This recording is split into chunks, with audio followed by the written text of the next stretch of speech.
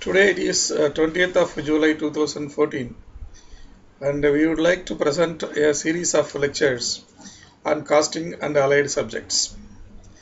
These series of lectures are mainly intended for uh, those students who study in Tamil medium and find it difficult to understand the concepts in English. This series, in this lecture, I will talk about uh, cost and uh, cost accounting standards. What do you mean by cost? Cost அப்படின்னா என்ன? அப்படின்னு ஒருத்தரை கேட்டோம் அப்படின்னு சொன்னால் அவர் உடனே என்ன சொல்கிறாரு இதனுடைய காஸ்ட் ஐம்பது ரூபா அப்படிங்கிறார். அதாவது அவருடைய பாணியில் காஸ்ட் அப்படின்னு சொன்னாங்க விலை. ஆனால் காஸ்ட்டுங்கிறது விலை அல்ல. காஸ்ட்டுங்கிறத உற்பத்தி செலவு அப்படின்னு நம்ம சொல்லலாம். உற்பத்தி செலவு அப்படின் பொழுது ஒரு பொருளை உற்பத்தி பண்ணுறதுக்கு மொத்தமாக எவ்வளோ செலவாகுது அப்படிங்கிறத நம்ம கணக்கு பண்ணி சொல்கிறோம் அதை தான் காஸ்ட் அப்படின்னு சொல்கிறோம் அப்போ காஸ்ட்டுக்கும் ப்ரைஸுக்கும் என்ன டிஃபரன்ஸ் அப்படின்னு கேட்கலாம். காஸ்ட் மேலே ஒரு மார்ஜின் அதாவது உங்களுடைய லாபம்.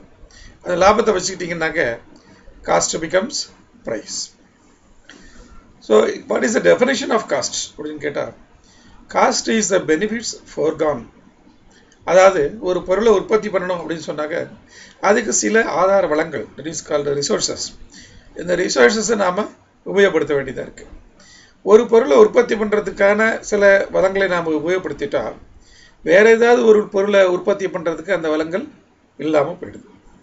அப்போது ஒரு பொருளினுடைய உற்பத்திக்காக வேறு சில பொருள் செய்ய முடியாமல் போகுது. அதற்கான சில ஆதார வளங்களை நாம் தியாகம் பண்ணுறோம் இந்த தியாகத்தை தான் நாம் காஸ்ட் அப்படின்னு சொல்கிறோம் ஃபார் எக்ஸாம்பிள் ஒரு நூறுரூபாய் பணம் இருக்குது கையில் உங்கள்கிட்ட அப்படின்னு சொன்னால் இந்த நூறுரூபாயை எடுத்துகிட்டு போயிட்டு நீங்கள் ஒரு சினிமா பார்க்கலாம். இல்லைன்னா ஒரு ஹோட்டலில் போயிட்டு போயிடுத்துண்ணா.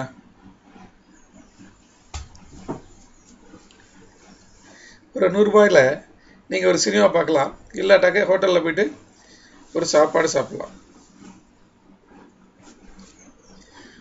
அப்போது நூறுரூபாயை வச்சுக்கிட்டு ரெண்டு வேலையும் செய்யலாமா அப்படின்னா ரெண்டையும் செய்ய முடியாது. அதாவது நம்மளுடைய ஆதார வளங்கள் வந்து ரெஸ்ட்ரிக்டடாக இருக்குது ஸோ நூறுரூபாயை வச்சுட்டு ஏதாவது ஒரு காரியத்தை தான் பண்ண முடியும். அப்போ நீங்கள் சினிமா பார்த்தீங்கன்னா சாப்பாடு இல்லை. சாப்பாட்டை பார்த்தீங்கன்னா சினிமா இல்லை.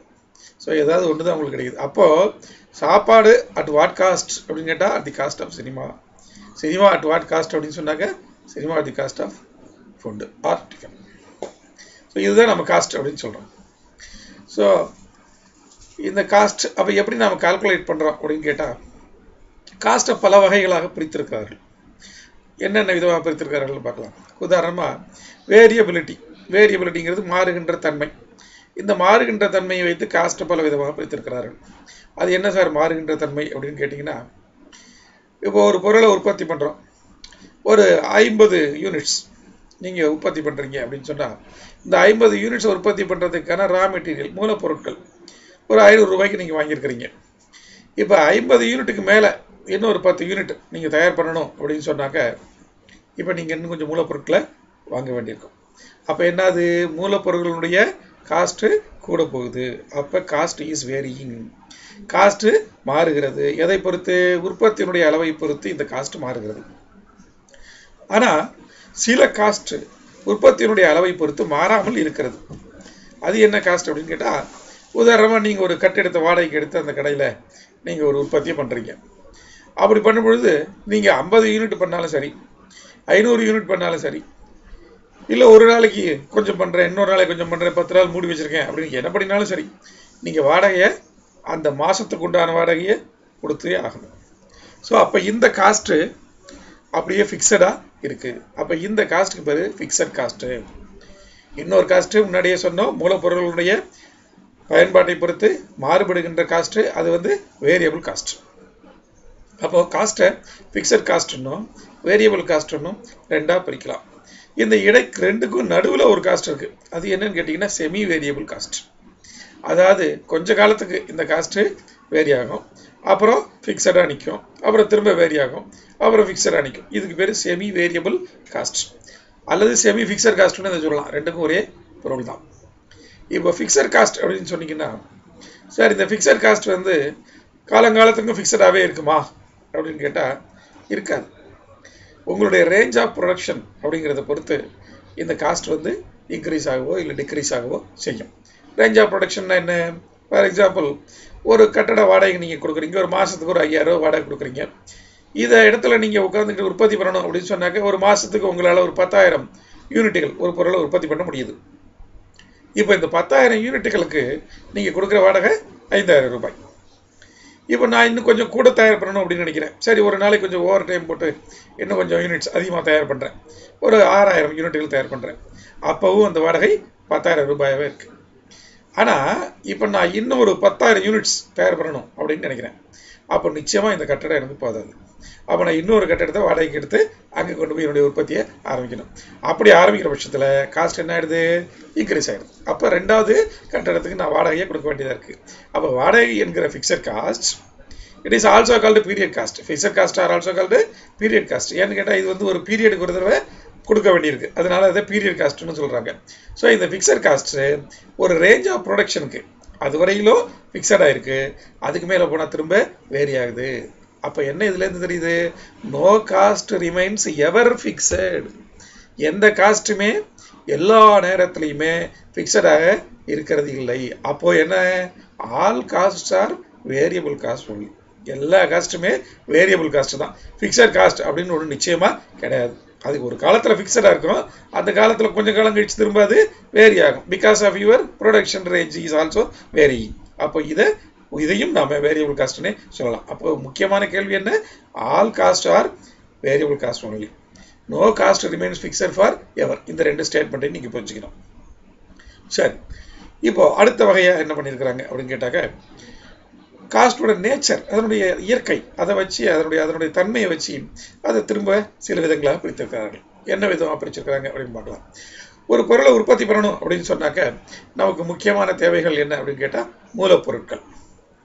ரா மெட்டீரியல்ஸ் அப்போ இந்த காஸ்ட்டை நாம் மெட்டீரியல் காஸ்ட் அப்படின்னு சொல்கிறோம் இதுக்கு அடுத்ததாக நமக்கு தேவைப்படுவது மனித உழைப்பு லேபர் காஸ்ட் அப்படிங்கிறத நாம் சொல்கிறோம் இதுக்கு அடுத்து மற்ற செலவுகள்லாம் இருக்குது அந்த செலவுகளில் நாம் எக்ஸ்பென்சஸ் அப்படின்னு சொல்கிறோம் இப்போ நான் ஒரு விஷயம் சொல்லணும்.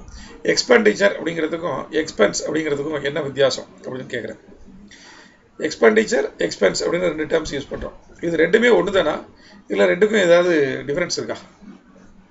இருக்குது எக்ஸ்பெண்டிச்சர் அப்படின்னு சொன்னாக்க உங்கள் கையிலேருந்து பணம் வெளியில் போகுது. ஆனால் அதுக்கு பதிலாக ஒரு பொருள் உங்களுக்கு உள்ளார வந்துடுது அப்போது உங்களுடைய நீங்கள் செலவு செஞ்ச பணம் உங்கள்கிட்ட தான் இருக்குது அது எங்கேயும் போயிடல. ஆனால் எக்ஸ்பென்ஸுங்கிறது நீங்கள் செலவு பண்ணுவீங்க. அந்த எக்ஸ்பென்ஸுக்கு உண்டான பொருள் எதுவும் உங்கள்கிட்ட திரும்பி வராது. For example you take an advertisement expenditure ஒரு பத்தாயிரம் கொடுத்து ஒரு பேப்பரில் வச்சு அட்வர்டைஸ்மெண்ட் கொடுக்குறோம் அப்படின்னு சொன்னாங்க அது கையை விட்டு போனது தான். So it is an expense அதனால் உங்களுக்கு எதுவும் திரும்ப கிடைக்காது. ஆனால் ஒரு பத்தாயிரம் கொடுத்து ஒரு ஃப்ரிட்ஜ் வாங்குறோம் அப்படின்னு சொன்னாங்க அந்த ஃப்ரிட்ஜு பொருளாக உள்ளார வந்துருச்சு. So it is an expenditure only so this is the difference between expense and expenditure இது மாதிரி நிறைய டேர்ம்ஸ் நீங்கள் தெரிஞ்சு கொண்டிருக்கும். ப்ராப்ளி வேஜஸ் அண்ட் சேலரிஸ் அப்படிங்கிறதுக்கு என்ன வித்தியாசம் நீங்கள் தெரிஞ்சு வச்சுருப்பீங்க. இது பிகாமில் இல்லை இதில் கூட சொல்லி கொடுத்துருப்பாங்க. சரி. இப்போது நம்ம என்ன சொன்னோம்? Material cost labour cost and other expenses அப்படின்னு மூணு விதமாக நாம் காஸ்ட் அதனுடைய இயற்கையை வைத்து பிரிக்கலாம். சரி. இந்த மூணு விதத்துலையும் மேலே இன்னும் கொஞ்சம் அதிகமாக போனால் direct material direct labour and direct expenses அப்போ டைரக்ட்னு சொல்லும் பொழுது நிச்சயமாக இன்டைரக்ட்னு இன்னொரு வகை இருக்கணும். அப்போ அது indirect labour indirect material and indirect expenses so இந்த direct labour direct material and direct expenses இது மூணும் ஒரு குரூப் இந்த மூணையும் சேர்த்து நம்ம என்ன சொல்கிறோம் prime cost these three are called prime cost இதனுடைய சம்முக்கு பிரைம் காஸ்ட் அப்படின்னு பேர். இப்போ இந்த indirect material indirect labour and indirect expenses இது மூணும் சேர்ந்தாக்க ஓவர் ஹெட்ஸ் அப்படின்னு சொல்கிறோம் ஓவர் ஹெட் ஓவர் ஹெட் அப்படிங்கிறது ஒரு காஸ்ட் இப்போ ஒரு உற்ப பொருளை உற்பத்தி பண்ணும் பொழுது ஒரு ஃபேக்ட்ரியில் வச்சு அதை நாம் உற்பத்தி பண்ணுறோம் அப்போ அதில் மெட்டீரியலை யூஸ் பண்ணுறோம் லேபரை யூஸ் பண்ணுறோம் எக்ஸ்பென்சஸ் வெரி யூஸ் பண்ணுறோம் அதாவது மற்ற செலவுகள் உதாரணமாக இப்போ ஒரு ஃபேக்ட்ரி இருக்குது அப்படின்னு சொன்னாக்க அந்த ஃபேக்ட்ரியில் கரண்ட் யூஸ் பண்ணுறோம் அல்லது மே ஒரு கேன்டீன் நடத்துகிறோம் இதெல்லாம் ஒரு அந்த உற்பத்தியில் வருகின்ற சில செலவுகள். இந்த செலவுகள் அந்த உற்பத்தியுடன் நேரடி தொடர்பு இல்லாதவை. ஸோ அதெல்லாம் நம்ம இன்டைரக்ட்னு சொல்கிறோம் நேரடி தொடர்பு உள்ளதை டைரக்ட் அப்படின்னு நம்ம சொல்கிறோம் சரி. அப்போது காஸ்ட் வந்து திரும்ப அதனுடைய நேச்சர் அடிப்படையில் மூன்று விதமாக பிரித்திருக்கிறோம். அதையும் திரும்ப இன்னும் ரெண்டு விதமாக டைரக்ட் அண்டு இன்டைரக்ட்னு பிரிச்சிருக்கிறோம். டைரக்டில் இருக்கிற இந்த மூணு காஸ்ட்டுக்கும் பிரைம் காஸ்ட்னு பேர். இன்டைரக்டாக இருக்கிற இந்த மூணு காஸ்ட்டுக்கும் ஓவர் ஹெட்ஸ் அப்படின்னு பேர். சரி. இது இல்லாமல் அப்புறம் வேறு விதமாக பிடிச்சிருக்காங்களா அப்படின்னா ஆ yes one more type of classification is there that is called direct and indirect costs so direct cost அப்படின்னா என்ன அப்படின்னு சொன்னால் ஒரு உற்பத்தி பொருளை பார்த்து இந்த உற்பத்தி பொருளில் இந்த ஒரு காம்பனண்ட் இருக்கு இதனுடைய செலவு இவ்வளவு அப்படின்னு என்னால் சொல்ல முடியும். அப்படின்னு சொன்னால் இதுக்கு பேர் டைரக்ட் காஸ்ட் அப்படின்னு பேர். உதாரணமாக ஒரு பாட்டில் இருக்குது இந்த பாட்டிலை நான் ஒரு பிளாஸ்டிக் மெட்டீரியல் தயார் பண்ணியிருக்கிறோம். இந்த பாட்டிலில் செய்கிறதுக்கு எவ்வளவு பிளாஸ்டிக் மெட்டீரியல் நம்ம செலவு பண்ணியிருப்போம் அப்படின்னு கேட்டால் ஒரு ஐந்து ரூபாய்க்கு இந்த மெட்டீரியல் நாங்கள் செலவு பண்ணியிருக்கிறோம் அப்படின்னு சொல்கிறோம் அப்போ இது டைரக்ட் காஸ்ட் அதே மாதிரி இந்த மூடி இருக்குது மூடி வந்து வேறு ஒரு மெட்டீரியலான செய்யப்பட்டது. இந்த மூடியினுடைய காஸ்ட் என்ன அப்படின்னு கேட்டால் இது ஒரு ஐம்பது பைசா இருக்கும் அப்படின்னு நம்மளால் சொல்ல முடியுது. சரி இந்த பாட்டிலில் செய்வதற்கு உண்டான லேபர் காஸ்ட் எவ்வளவு அப்படின்னு கேட்டாக்க சொல்ல முடியும். ஒரு நாளைக்கு ஒரு லேபர் வந்து இந்த பாட்டில் ஒரு மிஷினில் செய்கிறாரு அப்படின்னு சொன்னால் ஒரு ஐநூறு பாட்டில் ஒரே ஆள் செய்ய முடியும். அவருடைய சம்பளம் ஐநூறு ரூபாய் அப்படின்னாக்க ஒரு பாட்டிலுக்கு ஒரு ரூபாய் லேபர் காஸ்ட் அப்படின்னு நம்மளால் சொல்ல முடியும். இது எல்லாமே அப்போது டைரக்ட் காஸ்ட் இதே மாதிரி ஃபேக்ட்ரிக்குள்ளார இருக்கிற அதர் எக்ஸ்பென்சஸ் உதாரணமாக இந்த மெஷின் இருக்குது இந்த பாட்டில் செய்கிற மிஷினுக்கு மேலே ஒரு லைட் போட்டிருக்காங்க. அந்த லைட்டில் கரண்ட் எக்ஸ்பெண்டிச்சர் இருக்குது இந்த கரண்ட்டு செலவு இருக்குது அந்த செலவை வந்து ஒரு இன்டைரக்ட் எக்ஸ்பென்ஸ் இல்லை இது மாதிரி வகையாக பிரிக்க முடியாது. அப்போ இந்த ஒரு பாட்டில் செய்கிறதுக்கு எவ்வளோ கரண்ட் செலவாகும் அப்படின்னு கேட்டிங்கன்னா என்னால் சொல்ல முடியாது. ஏன்னு கேட்டால் ஒரு மணி நேரத்தில் கிட்டு அந்த மிஷின் வந்து ஒரு ஐநூறு பாட்டில் செஞ்சு போட்டுரும். அப்போ அதுக்கு எவ்வளோ கரண்ட் செலவாக இருக்குங்கிறது என்னால் சொல்ல முடியாது. அப்போ இது வந்து indirect sorry this is a direct expense but we cannot find it out அதனால் அது இன்டைரக்ட் எக்ஸ்பென்ஸ் அப்படின்னு நான் சொல்கிறோம் இப்போ ஒரு பொருள்லேருந்து அது எவ்வளவு இருக்கும் அப்படின்னு அந்த செலவு நம்ம சொல்லிட்டோம்னு சொன்னாக்க அதை டைரக்ட் எக்ஸ்பென்ஸ் அப்படின்னு சொல்கிறோம் அப்படி சொல்ல முடியாத விஷயங்களை இன்டைரக்ட் எக்ஸ்பென்ஸ்னு சொல்கிறோம் ஃபார் எக்ஸாம்பிள் ஒரு சூப்பர்வைசர் இருக்கார். அவர் ஒரு ஃபேக்ட்ரியில் இருந்து வேலை பார்க்குறாரு. ஒரு நாலு அவருக்கு கீழே ஒரு நாலு மிஷினிஸ்ட் இருக்காங்க. அவங்க நாலு மிஷின்லேயும் வேலை பார்த்து ப்ரொடக்ஷன் பண்ணுறாங்க இப்போ இந்த மிஷினில் இருக்கிற அந்த ப்ராடக்ட் அதனால் இதனோட சூப்பர்வைசருடைய காஸ்ட் எவ்வளோ இருக்குது சூப்பர்வைசருடைய சம்பளம் கொடுத்துருப்போம் இல்லையா அந்த சூப்பர்வைசர் கொடுக்கப்பட்ட சம்பளம் இதில் எவ்வளோ இருக்குது அப்படின்னு கேட்டால் என்னால் சொல்ல முடியாது. அப்போ அது வந்து இன்டைரக்ட் எக்ஸ்பென்ஸ் சரி. அப்போ எது உங்களால் கண்டுபிடிக்க முடியுமோ அது டைரக்ட் எது உங்களால் கண்டுபிடிக்க முடியாது அதான் அந்த பொருளிலிருந்து இது எவ்வளவு அப்படின்னு கண்டுபிடிக்க முடியலையோ அது இன்டைரக்ட் எக்ஸ்பென்ஸ் அப்படின்னு சொல்கிறோம் ஃபார் எக்ஸாம்பிள் ஒரு சட்டையை தைக்கிறோம். இல்லை ஒரு ஷூ தைக்கிறோம். இந்த ஷூ தைக்கிறதுக்கு சட்டை தைக்கிறதுக்கு நம்ம ஒரு நூலை யூஸ் பண்ணுறோம் இந்த நூல் எவ்வளோ ரூபாய்க்கு நீங்கள் வாங்கி செலவு பண்ணியிருப்பீங்க இந்த சட்டையில் எவ்வளவு நூல் நீங்கள் செலவு பண்ணியிருக்கீங்க அப்படின்னு கேட்டாக்க தையக்காரர் சொல்லுவார். இந்த சட்டை தைக்கிறதுக்கு ஒரு பதினஞ்சு மீட்டர் நூல் செலவாயிருக்கு. பதினஞ்சு மீட்டர் ஒரு நூல் கண்டில் ஐம்பது மீட்டர் இருக்கும். அது இருபத்தெண்டு ரூபா. ஸோ ஒரு பதினஞ்சு மீட்டருக்குள்ள செலவு. ஸோ இந்த சட்டைக்கு நூல் வந்து ப ஐம்பது பைசா செலவாய் பண்ணியிருக்கேன். அப்படின்னு அவர் சொல்லுவார். பட் அப்படி சொன்னாலும் அதை போய் நம்ம தேடி கண்டுபிடிக்க வேண்டிய அவசியம் இல்லை. ஏன்னு கேட்டால் சட்டைக்கு தைக்கிறதுக்கு நூற்றம்பது ரூபா கூலின்னா அதில் ஒரு ஒரு ரெண்டு ரூபாயோ மூன்று ரூபாயோ அந்த தையல் கூலி இருக்க போகுது. இதை போய் நூல் கொண்டிருக்க போகுது. இந்த நூல் செலவு போய் நாம் கண்டுபிடிச்சு சொல்ல வேண்டிய அவசியம் இல்லை. ஸோ அப்போ இதை கண்டுபிடிக்கிறதுக்காக நம்ம செலவு பண்ணணும். அதுவே ஜாஸ்தியாகிடும் அந்த செலவை விட நூல் செலவு குறைச்சலாக இருக்கும். அதனால் இதை நம்ம கண்டுபிடிச்சு சொல்ல வேண்டிய அவசியம் இல்லை. இதை இன்டைரக்ட் எக்ஸ்பென்ஸ் நம்ம சேர்த்துக்கலாம். அல்லது இன்டைரக்ட் மெட்டீரியல் காஸ்ட்டும் போட்டுருக்கோம் சரி. இப்போ ஆக உங்களால் கண்டுபிடிச்சு சொல்ல முடிந்தால் அதை நீங்கள் டைரக்ட் அப்படின்னு சொல்லிடலாம். இல்லைனாக்க இன்டைரக்ட் அப்படின்னு சொல்லிடலாம். சரி இப்போ ஓவர் ஹெட்ஸ்ன்னு சொன்னீங்களே அப்படின்னா என்ன? அப்படின்னு கேட்டால் இந்த மூணு காஸ்ட் சொன்னோம் இல்லையா? இது direct material direct labour and direct expenses இது மூணு எங்கே நடக்குதுன்னா ஃபேக்ட்ரிக்குள்ளார நடக்குது. உற்பத்தி தொழிற்சாலைக்குள்ள உள்ளார நடக்குது. ஸோ இது மூணுக்கும் பிரைம் காஸ்ட் அப்படின்னு சொல்லிட்டு முன்னாடியே. இது இல்லாமல் வேறு சில காஸ்ட்டும் இன்வால்வ்டு என்ன இன்வால்வ்டு ஃபார் எக்ஸாம்பிள் உங்களுடைய ஃபேக்ட்ரி இருக்குது இந்த ஃபேக்ட்ரியில் ஒரு நிதித்துறை நிர்வாகம் இருக்குது ஒரு அட்மினிஸ்ட்ரேஷன் ஃபினான்ஸ் ஃபினான்ஸ் டிபார்ட்மெண்ட் இருக்குது இந்த ஃபினான்ஸ் டிபார்ட்மெண்ட்டில் ஒரு இருபது பேர் வேலை பார்க்குறாங்க. அவங்களுக்கு ஒரு சீஃப் இருக்கார் ஜெனரல் மேனேஜர் இருக்கார் எல்லாரும் இருக்காங்க. ஸோ இப்போ இவங்களுக்கு உண்டான செலவுகள்லாம் இருக்குது இந்த செலவுகள் எல்லாம் நம்ம எந்த கணக்கில் சேர்க்கணும்? அதே மாதிரி வேறு ஒரு செலவு இருக்குது ஃபார் எக்ஸாம்பிள் இந்த மெட்டீரியல்லாம் எடுத்துன்னு கொண்டு போய் செல்லிங் விற்கிறதுக்கு எடுத்துன்னு போகிறோம் இதை விற்கிறதுக்கு செல்லிங் அண்ட் டிஸ்ட்ரிபியூஷன் காஸ்ட்னு பேர் இருக்குது அந்த செல்லிங் அண்ட் டிஸ்ட்ரிபியூஷன் காஸ்ட் இருக்குது ஸோ இந்த காஸ்ட் வந்து இன்டைரக்ட் காஸ்ட் ஸோ இதில் யூஸ் பண்ணுற மெட்டீரியல் கால்டு இன்டைரக்ட் மெட்டீரியல் இதே மாதிரி இன்டைரக்ட் லேபர் இன்டைரக்ட் எக்ஸ்பென்சஸ் இந்த மூணையும் சேர்த்தாக்க ஓவர் ஹெட்ஸ் அப்படின்னு நாம் சொல்கிறோம் அப்போது ப்ரைம் காஸ்ட்டு ப்ரைம் காஸ்ட்டுக்கு அப்புறம் ஓவர் ஹெட்ஸு ஓவர் ஹெட்ஸுக்கு அப்புறம் செல்லிங் அண்டு டிஸ்ட்ரிபியூஷன் காஸ்ட்டு இதுக்கப்புறம் உங்களுடைய மார்ஜின் இதை சேர்த்தீங்கன்னாக்க you will get the price of the product பொருளுடைய விலை என்ன அப்படிங்கிறது உங்களுக்கு தெரிஞ்சிருக்கு சரி. இப்போ நாம் ஒரு பொருளுடைய உற்பத்தி செலவு என்ன அப்படின்னு நம்மளால் கண்டுபிடிக்க முடியும். ஸோ இந்த முறையில் உபயோகப்படுத்தி நீங்கள் ஒரு பொருளுடைய உற்பத்தி செலவை கண்டுபிடிக்கலாம். இப்படி ஒரு ஷீட்டு அதாவது direct material direct labour direct expenses total prime cost indirect material, indirect labor, indirect expenses, total factory, I mean, um, indirect overheads, overheads. அப்புறம் ரெண்டையும் சேர்த்து அப்புறம் திரும்ப செல்லிங் அண்ட் டிஸ்ட்ரிபியூஷன் காஸ்ட் அப்புறம் அது கூட மார்ஜின் இப்படி எல்லாம் போட்டு இப்போ ஒரு பொருளை மொத்தமாக உற்பத்தி பண்ணுறதுக்கு என்ன செலவாகுது? அதனுடைய விலை என்ன? அப்படின்னு நீங்கள் சொன்னீங்கன்னா இந்த ஷீட்டுக்கு பேர் காஸ்ட் ஷீட் அப்படின்னு பேர். இந்த ஷீட்டுக்கு காஸ்ட் ஷீட் அப்படின்னு பேர். இப்போ எந்த பொருளை நீங்கள் உற்பத்தி பண்ணாலும் அதுக்கு ஒரு காஸ்ட் ஷீட் போட்டு இதனுடைய காஸ்ட் பர் யூனிட் என்ன அப்படின்னு உங்களால் சொல்ல முடியணும். அப்படி சொல்ல முடிஞ்சிடும். அப்போ தான் நம்ம காஸ்ட்டை கரெக்டாக கால்குலேட் பண்ணியிருக்கிறோம் அப்படின்னு அர்த்தம். சரி. இப்போ நான் அந்த ஸ்டாண்டர்ட்ஸ் பற்றி முன்னாடியே சொன்னேன். ஸ்டாண்டர்ட்ஸு உங்களுக்கு தெரியும் தேர் ஆர் த்ரீ இன்ஸ்டியூட்ஸ் ஒன்று வந்து சார்ட்டர்ட் அக்கௌண்டன்ஸ் ஆஃப் இந்தியா இன்னொன்று cost and management accountants of India இன்னொன்று கம்பெனி செக்ரட்டரிஸ் ஆஃப் இந்தியா இந்த மூணு இன்ஸ்டியூட்டுமே வந்து மூணு சட்டங்களினால் பார்லிமெண்ட்டோட ஸ்பெஷல் ஆக்ட்ஸ் அந்த ஆக்ட்ஸ் படி கிரியேட் பண்ணி வச்சுருக்காங்க.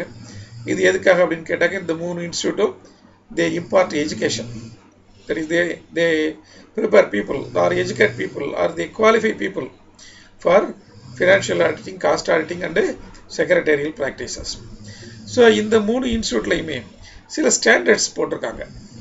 உதாரணமாக சார்ட்டர்ட் அக்கௌண்டன்ட் இன்ஸ்டியூட்டில் cost accounting standards accounting standards போட்டிருக்காங்க. இந்த அக்கௌண்டிங் ஸ்டாண்டர்ட்ஸ் எதுக்கு அப்படின்னு கேட்டாக்க எல்லாரும் ஒரே மாதிரியான அக்கௌண்டிங் பாலிசிஸை அடாப்ட் பண்ணணும். ஏன்னா ஒவ்வொருத்தரும் ஒவ்வொரு மாதிரியான பாலிசி அடாப்ட் பண்ணிங்கன்னா கடைசியில் நம்ம கம்பேர் பண்ண முடியாது.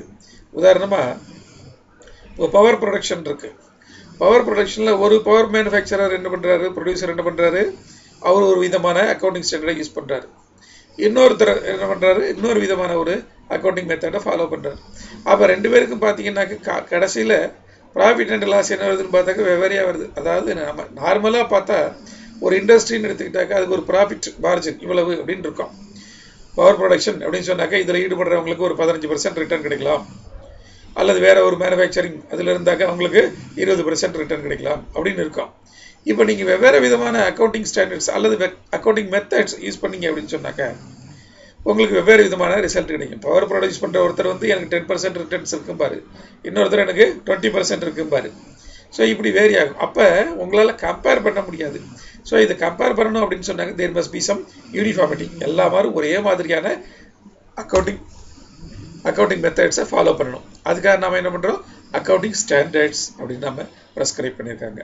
இதே மாதிரி institute of cost accountants of இந்தியாவிலேருந்து காஸ்ட் அக்கௌண்டிங் ஸ்டாண்டர்ட்ஸ் அப்படின்னு கிட்டத்தட்ட ஒரு பதினஞ்சு ஸ்டாண்டர்ட்ஸை தேவ் ரிலீஸ்டு இதே மாதிரி institute of company secretaries of India அவங்க வந்து செக்ரட்டரியல் ஸ்டாண்டர்ட்ஸ் அப்படின்னு சொல்லி அவங்க கொஞ்சம் ஸ்டாண்டர்ட்ஸ் ரிலீஸ் பண்ணியிருக்காங்க.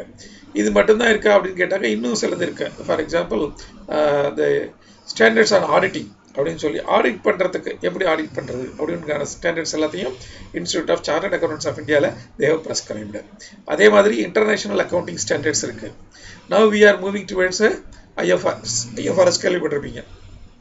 ஸோ இந்த அக்கௌண்டிங் ஸ்டாண்டர்ட்ஸ் இது இது எல்லாத்தையும் நம்ம படிக்கணும். ஸோ இந்த அக்கௌண்டிங் ஸ்டாண்டர்ட்ஸையும் காஸ்ட் அக்கௌண்டிங் ஸ்டாண்டர்ட்ஸையும் செக்ரட்டரியல் ஸ்டாண்டர்ட்ஸையும் படிச்சிட்டாலே கிட்டத்தட்ட நீங்கள் ஒரு fifty percent of your portion you will complete so cost accounting ஸ்டாண்டர்ட்ஸில் எடுத்துக்கிட்டிங்கன்னா மெட்டீரியல் காஸ்டிங்காக தனியாக ஒரு ஸ்டாண்டர்டு ஓவர் ஹெட் எப்படி கால்குலேட் பண்ணுறது அதுக்கு ஒரு ஸ்டாண்டர்ட் இப்படி நிறைய ஸ்டாண்டர்ட்ஸை போட்டிருக்காங்க. ஸோ இது எல்லாம் they are available in the websites of the institutes அங்கேருந்து நீங்கள் ஏற்றி டவுன்லோட் செய்து படித்துக்கொள்ளலாம் அல்லது புத்தகங்களுக்கு இதுக்குண்டான விளக்க குறிப்புகளும் நிறைய போட்டிருக்கிறாங்க. ஸோ இது எல்லாத்தையும் நீங்கள் வாங்கி படிச்சுக்கிறது நல்லது. ஓகே இன்றைக்கு இதுவரை முடி வைத்துக்கொள்ளலாம் நாளைக்கு வேற ஒரு சப்ஜெக்டை பற்றி பேசலாம். Good bye